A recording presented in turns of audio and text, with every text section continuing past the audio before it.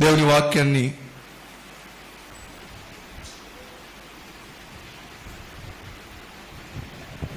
లోంచి యశా గ్రంథం మీ బైబిల్ తెరచి దేవుని వాక్యాన్ని చూడవలసిందిగా ప్రభు పేర్ట మనవి చేస్తూ ఉంటున్నాను. యశయా గ్రంథం నలభైవ అధ్యాయము నలభైవ అధ్యాయము ముప్పై ఒకటో వచనం. యశయా గ్రంథం నలభై అధ్యాయము ముప్పై ఒకటో వచనాన్ని ముందుగా నేను చదువుతాను. నేను చదివి నేను చదువుతుండగా దయచేసి మీరందరూ దేవుని వాక్యాన్ని జాగ్రత్తగా చూసుకోవాల్సిందిగా ప్రభు పేరట మనవి చేస్తూ ఉంటున్నాం. చూసుకోండి. యహోవా కొరకు ఎదురు చూచువారు నూతన బలము పొందుదురు. వారు పక్షిరాజు వలె రెక్కలు చాపి పైకి ఎగురుదురు. అల్లయక పరిగెత్తుదురు. సొమ్మసిల్లక నడిచిపోదురు. ఇంతకీ పక్షిరాజు ఎవరు? మనం చదువుకున్నటువంటి పరిశుద్ధ బైబిల్ గ్రంథంలో పక్షిరాజు ఎవరు అని మనం చూసినట్లయితే ఈగల్ గద్ద పక్షి రాజుగా మనం చూడవచ్చు. అయితే దాంట్లో ఉన్నటువంటి ఏడు క్వాలిటీస్ పక్షిరాజులో ఉన్నటువంటి ఏడు గుణాలు ఆ గుణాల్లోంచి మనం ఏం కలిగి ఉండాలో ఈ నూతన సంవత్సరంలో రెండవ మెసేజ్ ప్రభు ప్రేరేపణ కొద్దీ నేను మీకు తెలియజేయాలని ఆశపడుతూ ఉన్నాను. యహోవ కొరకు ఎదురు చూచువారు నూతన బలము పొందుదురు. వారు పక్షిరాజు వలె రెక్కలు చాపి పైకి ఎగురుదురు. అలయక పరిగెత్తుదురు. సొమ్మసిల్లక నడిచిపోదురు. బైబిల్లో పక్షిరాజు మనకు అనేక పాఠాలు నేర్పిస్తూ ఉంది. పక్షిరాజును మనం చూసి చూచి ఒక విశ్వాసి నేర్చుకోవలసింది ఎంతో ఉన్నదని ప్రభుపేట ఈ రాత్రి మీకు అందరికీ జ్ఞాపకం చేస్తూ ఉన్నాను. మొదటిగా ప్రియులారా పక్షిరాజును మనం చూసినప్పుడు మొదటి పాఠం. మొదటిగా మనం పక్షిరాజును చూసినప్పుడు పక్షిరాజు తన రెక్కలు చాపి ఏం చేస్తుందంట? పైకి ఎగురుతుంది. పక్షిరాజు తన రెక్కలు చాపి పైకి ఎగురుతుంది. ఇది మొదటిది. పక్షిరాజుకున్నటువంటి ఒక గుణం. అయితే దీనిలోంచి మనం ఏ పాఠం నేర్చుకోవాలి? ఇందులోంచి మనం నేర్చుకోబోయేటువంటి పాఠం ఏంటి అని మనం చూసినట్లయితే పక్షిరాజు చాలా ఎత్తు ఎగరగలదు. పక్షిరాజు చాలా ఎత్తు ఎగరగలదు. అంతేకాదు అంతేకాదు ఒక ఎత్తును అది చేరినప్పుడు అది ఇతర పక్షుల వలె రెక్కలు కట్టుకొనుచు ఆ, ప్రయాసతో ఎగరవలసినటువంటి అవసరం లేకుండా రెక్కలు చాపుతుంది ఇలా. రెక్కలు చాపి ప్రశాంతంగా అది ఎగురుచూ ఉంటుందంట. గతను ఎప్పుడైనా మరి చూసినారా? పైన ఆకాశంలో అది ఎగురుతూ ఉన్నప్పుడు అది మామూలు పక్షుల్లాగా ఇలా రెక్కలు ఊపదు. కదా? రెక్కలు ఊపదు. అయితే ఎలా ఉంటుంది? ఇలానే ఉంచుంటుంది ఎందుకు అంటే ఆ రెక్కలు అది పైకి వెళ్ళాలంటే ఆ రెక్కలు ఏం చేస్తుందంటే అది ఇలా పెడుతుంది. ఇలా పెట్టినప్పుడు ఒక ఒక స్టేజ్. ఇలా పెట్టినప్పుడు ఆ వచ్చే గాలి ఆ రెక్కలకు ఇలా తగిలినప్పుడు అది పైకి వెళ్తుంది అనమాట అదే ఆ పక్షిరాజు కిందికి రావాలంటే ఆ రెక్కను ఏం చేస్తుందంటే ఇలా పెడుతుంది అనమాట ఇలా పెట్టినప్పుడు వచ్చేటువంటి ఆ గాలి పై పైన రెక్కకు తగిలి అది కిందికి వస్తుంది అనమాట అలాగా పక్షిరాజు సులభంగా తన రెక్కలతో పైకి ఎగురుతుంది అనేటువంటి విషయాన్ని మొదటి పాఠంగా నేను మీకు జ్ఞాపకం చేస్తున్నాను. పక్షిరాజు ఐదు లేక ఆరు వేల అడుగుల ఎత్తులో కూడా సునాయాసనంగా ఎగరగలదు. ఐదు వేలు లేక ఆరు వేల ఎత్తులో సునాయాసనంగా అది ఎగరగలదు.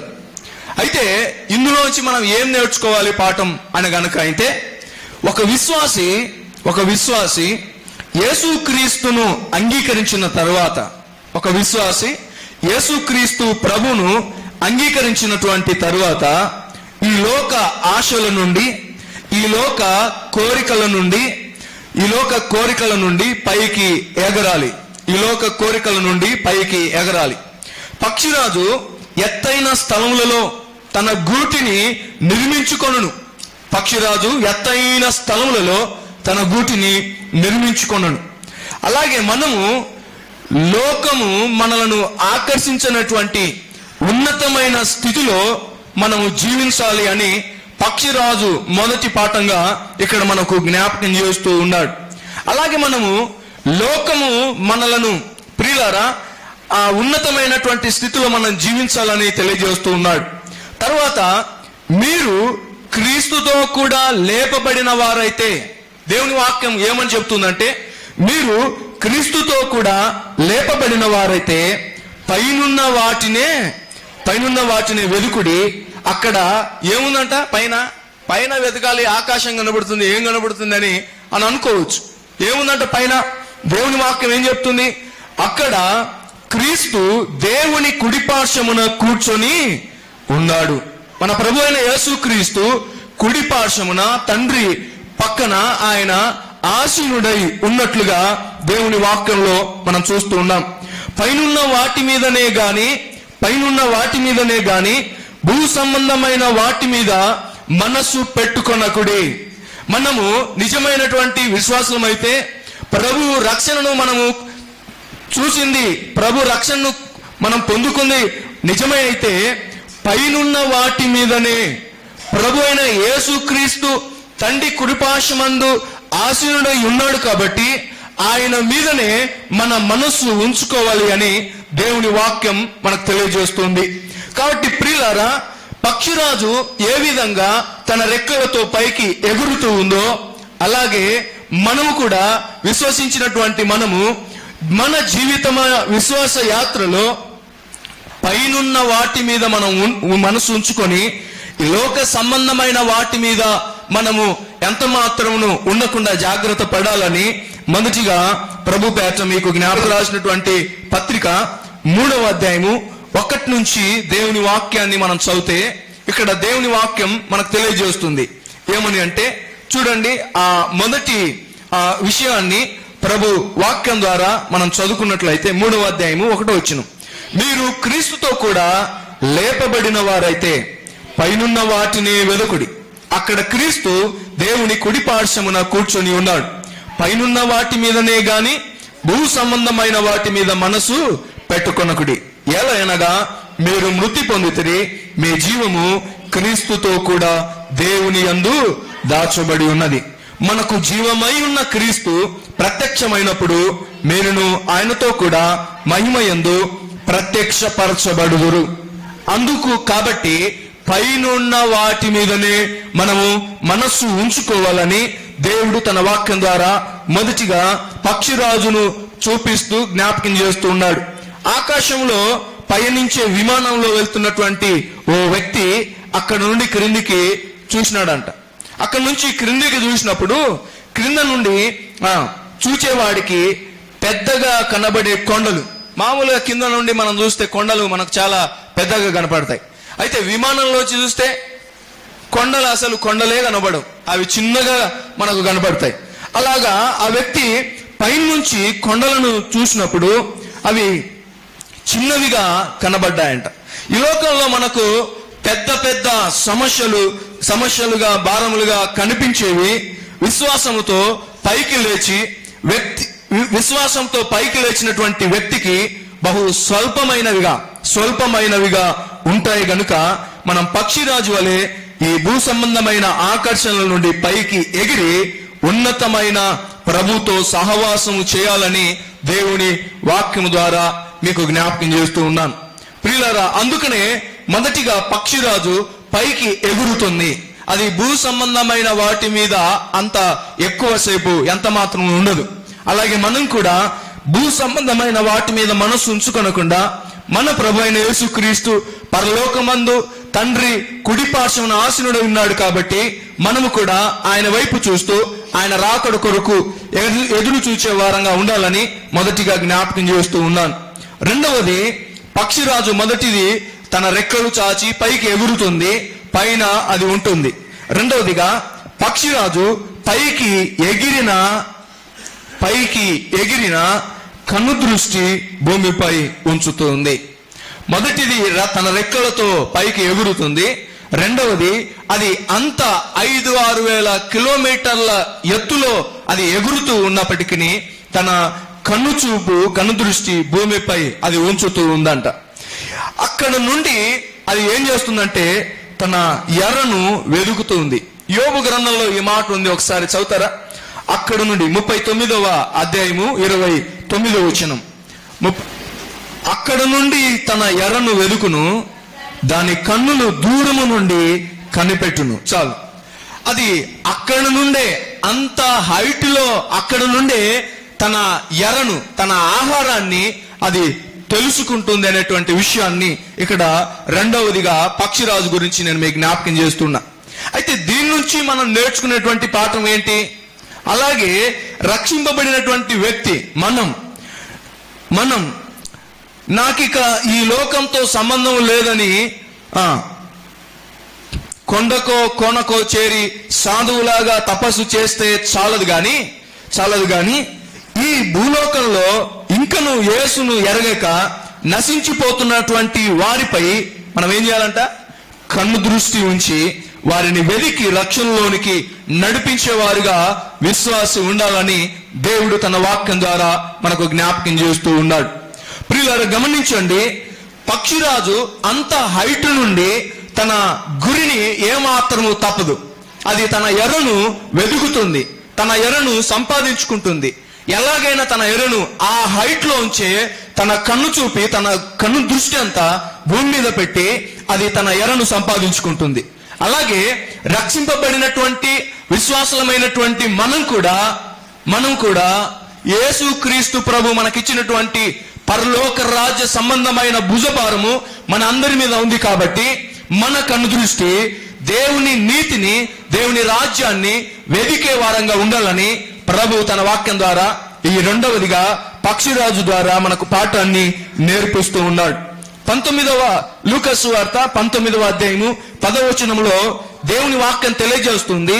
ఏమని అంటే నశించిన దానిని నశించిన దానిని వెదకి రక్షించటానికి నేను ఈ లోకంలోనికి వచ్చినని యేసుక్రీస్తు ప్రభు అక్కడ తెలియజేస్తూ ఉన్నాడు.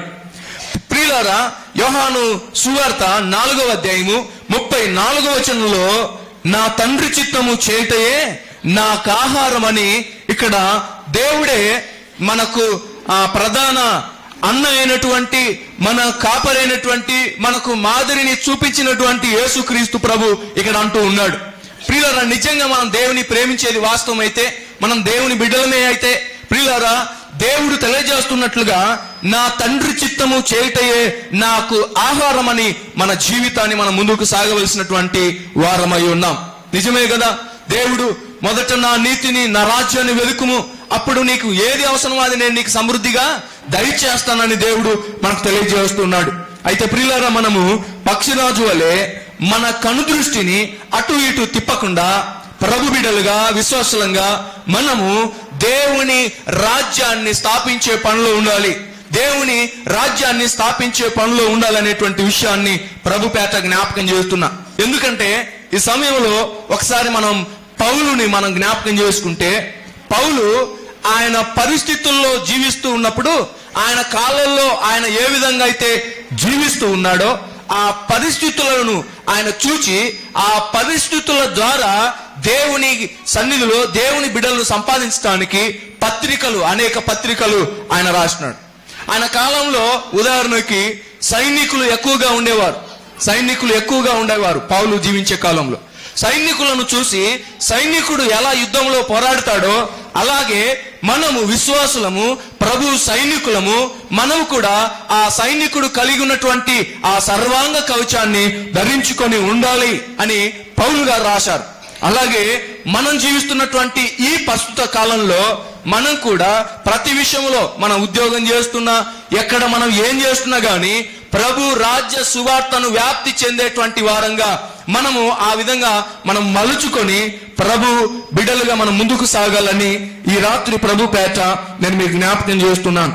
అందుకనే ప్రియులారా యేసు ప్రభు మన యేసు ప్రభు ఈ మాటలు చెప్తూ ఉన్నాడు. అయితే మనము ఈ లోకంలో ఉన్నప్పటికీ ఈ లోకం మనలోనికి రాకుండా చూసుకోవాలి. మనం ఈ లోకంలో ఉన్నప్పటికీ ఈ లోకము మనలోనికి రాకుండా చూసుకోవాలి. మనం ప్రభు కొరకు ప్రత్యేకంగా జీవిస్తూ పాపంలో ఉన్న వారికి సువార్తను ప్రకటించడం ద్వారా వారిని ప్రభు కొరకు సంపాదించాలని ప్రభు తన వాక్యం ద్వారా మనకు జ్ఞాపకం చేస్తున్నాడు. అందుకనే పక్షిరాజు వలె మనము మన కన్ను దృష్టిని మన జీవిత విశ్వాస యాత్రలో ఎక్కడుంచాలండి మన మన గురి ఎక్కడ ఉండాలి మన ప్రభు అయినా యేసుక్రీస్తు వైపే మన గురి ఉండాలి. ఆయననే మనం చూడాలి. ఆయన మీదనే మన మనసు ఉండాలి. ఆయన నీతిని రాజ్యాన్ని మనం వెతకాలి అప్పుడే మనము మన జీవిత విశ్వాస యాత్రను ముగించగలుగుతామని ప్రభు పేట ఈ రాత్రి జ్ఞాపకం చేస్తూ ఉన్నాను. ప్రభు పేట ఈ రాత్రి జ్ఞాపకం చేస్తూ ఉన్నాను. మూడవదిగా మూడవదిగా ప్రియులారా పక్షిరాజు పైకి ఎగిరిన సారీ మూడవదిగా పక్షిరాజు తన పిల్లల గూడు ఏం చేస్తుందంట? కదుపును. తన పిల్లల గూడును ఏం చేస్తుందంట? కదుపుతుంది. అదేంటండి? ఏ ఏ ఏ పక్షి అయినా తన పిల్లల దగ్గరికి వస్తే ఎవరైనా ఏదైనా శత్రువు వస్తే తన గూడును జాగ్రత్త చేసుకొని తన గూడు దగ్గరికి శత్రువు రాకుండా పోరాడి పోరాడి అలసిపోయింటుందే కానీ తన గూడును చెదరగొట్టదు కదా. తన పిల్లలను ఎప్పటికీ నాశనం చేయదు కదా. కానీ పక్షిరాజు మూడవదిగా ఏం చేస్తుందంట?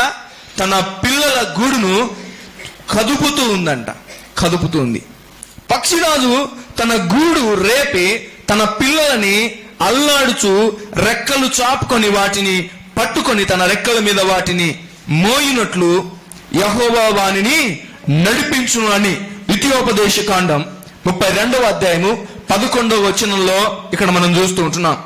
పిల్లలు గమనించండి అది ఏం చేస్తుందంటే అది ఏం చేస్తుందంటే తన గూడులో ఉన్నటువంటి పిల్లలనన్నిటినీ ఐదు లేకపోతే ఆరు వేల కిలోమీటర్ల ఎత్తులో ఆ కొండ ప్రాంతంలో అది గూడును పెట్టుకుంటుంది. అక్కడ పిల్లలను పెడుతుంది. పెట్టిన తర్వాత ఒక స్టేజి తన పిల్లలకు వచ్చిన తర్వాత ఆ పక్షిరాజు ఏం చేస్తుందంటే ఆ తన గూడును గూడును మాత్రం కదిపి పిల్లలను కింద పడేస్తుంది. కింద పడేస్తుంది. కింద పడేసినప్పుడు ఆ పిల్లలు ఏం చేస్తాయి తెలుసా? తన రెక్కలను చాపుతాయి.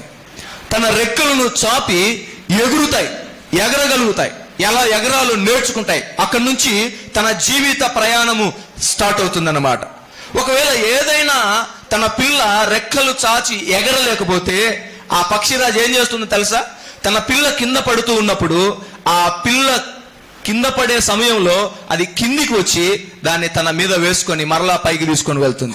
అలాగూ ఆ పిల్ల ఎలా ఎగరాలో స్వతంత్రంగా ఎలా జీవించాలో పక్షిరాజు తన పిల్లలకు నేర్పిస్తుంది.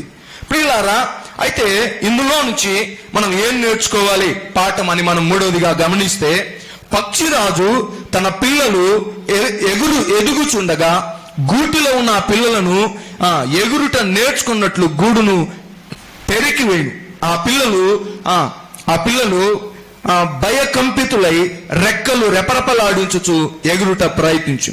అవి ఎగరలేక కింద పడిపోతున్నప్పుడు పక్షిరాజు రెక్కలు చాపుకొని వాటిని పట్టుకొని తన రెక్కల మీద వాటిని మోస్తూ ఉంది. అట్లే ప్రియులారా ఒక విశ్వాసి అలాగే ఒక విశ్వాసి శ్రమలు కష్టాలు ఎదుర్కొన్నప్పుడు నిరుత్సాహపడక ప్రభు తన మేలు కోరి తనను అనేక విషయములను నేర్చుకునవలెనని ఆశించుచున్నాడని శోధనలలో శ్రమలలో తనను విడిచిపెట్టక కాపాడి ఆదరించినని గుర్తించవలెనని ప్రభు పేట జ్ఞాపకం చేస్తూ ఉన్నాను. కీర్తన గ్రంథం నూట పంతొమ్మిదవ అధ్యాయము డెబ్బై ఒకటో వచనంలో దేవుని వాక్యం మనకేం చెప్తుంది చూడండి. వారి హృదయములు నూట పంతొమ్మిది డెబ్బై ఒకటి. నేను నీ కట్టడలను నేర్చుకొనున్నట్లు శ్రమ నొంది ఉండుట నాకు మేలాయను. శ్రమ యొంది ఉండుట నాకు మేలాయను. పిల్లరా ఇక్కడ దావీదు మహారాజు ఈ మాట మనకు జ్ఞాపకం చేస్తూ ఉన్నాడు. ఎందుకు ఆ మాట అంటే నీ కట్టడలను నేను నేర్చుకున్నట్లు. శ్రమ శ్రమ యొంది నుండుట నాకు మేలాయను. ఒక విశ్వాసి శ్రమంలో వెళ్తూ ఉన్నాడంటే శ్రమల గుండా వెళ్తూ ఉన్నాడంటే ఆ విశ్వాసి నేర్చుకోవటానికే అనేటువంటి విషయాన్ని మనం గమనించాలి. నాకెందుకు ఇంత శ్రమలు వచ్చినాయి? నా జీవితంలో ఎందుకు ఇంత బాధలు ఉన్నాయి ఎందుకు ఇంత శ్రమలు ఉన్నాయని మనం ఒకసారి ఆలోచన చేస్తే ఎలాగూ పక్షిరాజు తన పిల్లలను అంత పై నుంచి కింద పడేసి అవి స్వతంత్రంగా ఎగురునట్లు అవి బ్రతకగలుగునట్లు చేస్తుందో అలాగే మనం కూడా మన ప్రభువైన యేసు క్రీస్తునందు విశ్వాసులుగా దేవుని బిడ్డలుగా ఎదగటానికి అలాగూ మన జీవితాన్ని మలుచుకోవటానికి శ్రమల గుండా దేవుడు మనల్ని పంపిస్తాడు. ఆ శ్రమలు నాకు మేలాయను అని దావీదు మహారాజు మనకు జ్ఞాపకం చేస్తున్నాడు నిజంగా చెప్పండి ఎంతమంది దావీదు వలె చెప్పగలరు? నాకు శ్రమ నొందుట నాకు మేలాయను అనేటువంటి మాట ఎంతమంది చెప్పగలరు? దావీదు మహారాజు ఈ మాట చెప్తున్నాడు. మన విశ్వాస అభివృద్ధికి పరీక్షలు శోధనలు మనకు అవసరమే అనేటువంటి విషయాన్ని ప్రభు పేట రాత్రి జ్ఞాపకం చేస్తూ ఉన్నాను. కాబట్టి ప్రియులారా శ్రమలు వచ్చినప్పుడు మనం బాధపడకూడదు. శ్రమలు వచ్చినప్పుడు మనం కృంగిపోకూడదు. చింతలు వచ్చినప్పుడు మనం ఆ అల్లాడిపోకూడదు. అయితే మనం ఏం చేయాలి? శ్రమ వచ్చినప్పుడు దేవుణ్ణి స్తుతించాలి. దేవుని గణపరచాలి. అందుకే